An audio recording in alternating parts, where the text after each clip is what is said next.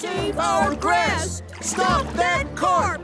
Save our grass! Stop that cart! Oh, come on, guys. My tummy's rumbling. Your rumbling tummy is going to ruin this entire river, Carl.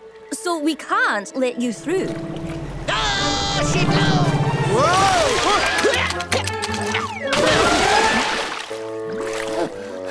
I probably should have mentioned, if spooked, a giant carp can jump up to three meters in the air.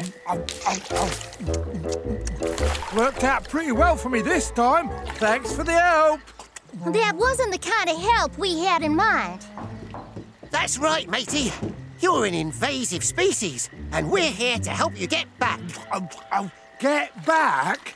Get back to where you once belonged. Back home. What if I don't want to get back home? Don't worry, Carl. We're just gonna pick you up real gentle like with this here fish relocator harness and set you down in this nice roomy tank.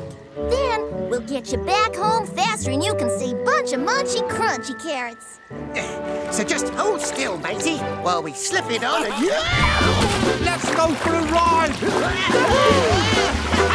Woohoo! Make way!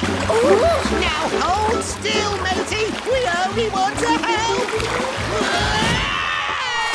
I gotcha! Sorry, Tweak. Hey, you forgot this. Tweak to Dashi. We're gonna need your help. We can drop him right into the tank and fly him back home. A little to the left. No, back to the right. Just a bit more. And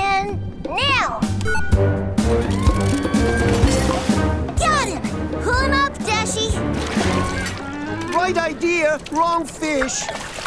Oops. Sorry. Ooh, can I try?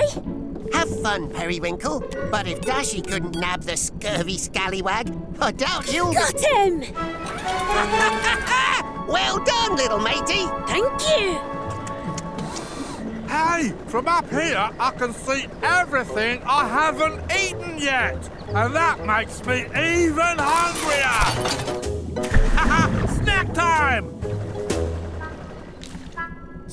So, now what? It's time for a new idea. There, that should do it. Just gotta test it out. Perfect. This will keep Carl safe and sound while we transport him back to his habitat. Now to lay the bait. He won't be able to resist these fish biscuits.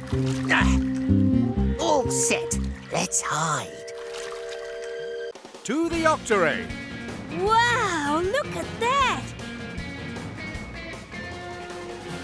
I'm Captain Barnacles. I like to go with the flow. Above and beyond.